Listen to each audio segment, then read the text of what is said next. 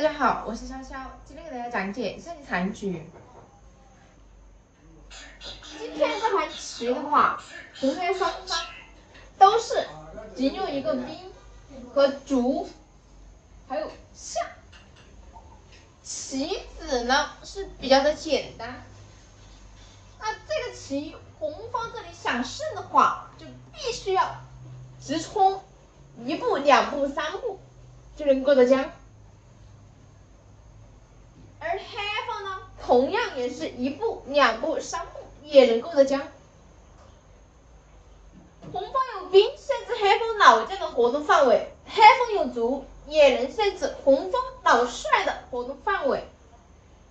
所以红方这里第步棋呢，是千万不能贪吃拱象。如果他拱象，那红黑方就进卒。红方你这里。再平过来，再准备进兵的话，黑方这里呢仍然是进卒，你这肯定是来不及。而黑方这里还有一步就能够得将，所以红方这里自然是不能贪吃象。红方第一步棋应该是进兵，黑方呢进卒，在这里红方将会面对一个十字路口。是能不能吃卒呢？吃。如果说他吃掉这个卒，拱掉这个卒，那黑方仍然还是进卒。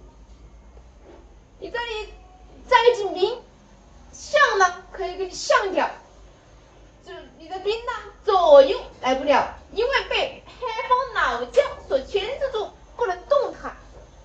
所以你即使你吃了这个兵，那你也是没用得起。吃了以后，你的兵而不能动，而且这个兵呢又隔得远，黑方这里马上都能过来叫杀，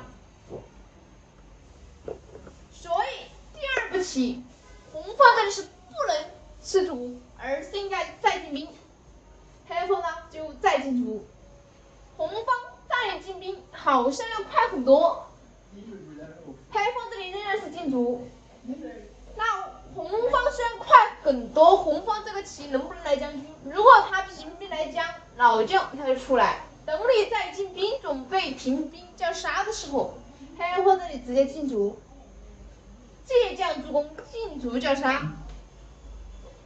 那如果是这边呢？同样这样一将，老将你这边再一进，他就直接一进，也能叫杀。所以即使你红方先。一步，但是此时你这两个兵，黑方有两卒，都形成二鬼拍门的一个阵势，但是两小鬼谁也不能走。此时红方如果说他这里打算飞进兵，把这个兵运过去来辅助进攻呢，那黑方这里就落象，等你再进兵，他就给你象掉。那你这个兵肯定不能走，不能白送啊，那也只能说是飞象，那黑方就进卒。此时红方应该想方设法的来阻挡住他黑方这个中卒，他卒一过来，再过来一盖，这个棋就直接盖死，只需要一步、两步、三步、四步。红方现在能守住这步棋，也就只能说把象兵到这个位置来。那也只能说弃兵含恨弃下兵，黑方象掉，然后红方这里过来，黑方只能进卒，红方呢只能落下，黑方这里再进卒，红方呢刚好可以上象来守着这步棋，看似是这样，那他卒呢也被红方帅所牵制，不能走开。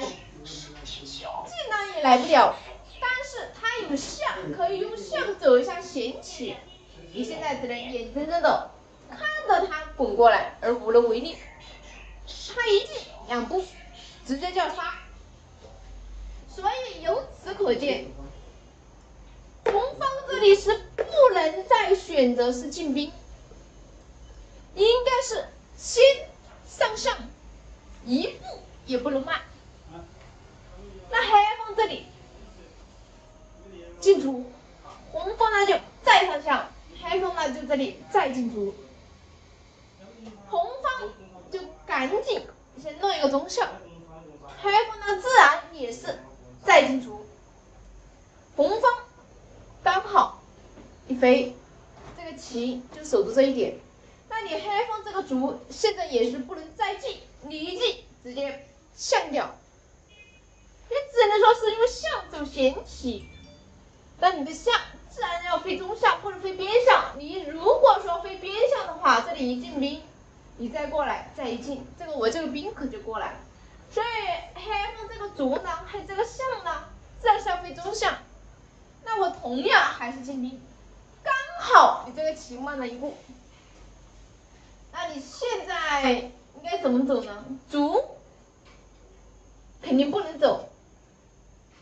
如果你的卒一走开，好，那我就过来平兵一将。那我这样子的形式，然后再进兵。下一步平兵就是叫杀，你黑方这个。过来之后呢，如果你再过来一将，我再过来，刚好你的卒遮住了将领，我就可以过来。你再进一步的话，那我这里比你要快。如果将，我给你做掉，也是同样的道理。所以说黑方这里的卒是肯定不能动。那当然，如果他走这边，那我就这边一将。一过来，我再一进，同样的道理。那如果说你这样一将，我一过来，下一步你还是来不及，红方还是要快。所以黑方这里的卒是不能走，左右来不了，进了白象，象了以后，那你这个象呢，更没地方可以走闲，只能让我这个兵过河，而象也是很无奈。只能白送，往边一走也是一样的道理。完了以后，你现在这个卒也没办法呀，只能说眼睁睁的走，或者这个象呢不飞过来，往边上这边一飞，那同样进卒进兵，等你再一飞，那我再一进，你也只能说赶紧飞过来，准备。来守住这步棋，那我就再进兵，你也只能说再飞象，那我就再进兵，刚好你的象呢来不了，刚好我要比你快一步，你一来象了，但是现在该你走，只能说飞高下，那我就再进兵，下一步平兵就是将杀，黑方呢，可以就再也没有办法来守住这一步棋。虽然这盘棋的子力呢，红黑双方都是一模一样，仅有三个兵、三卒，还有一象，仅仅是这样的棋，那虽然步数不是很多，但是也还是比较的奇妙。好，今天这盘残局呢，就给大家分享到这里，非常感谢各位球友的观看。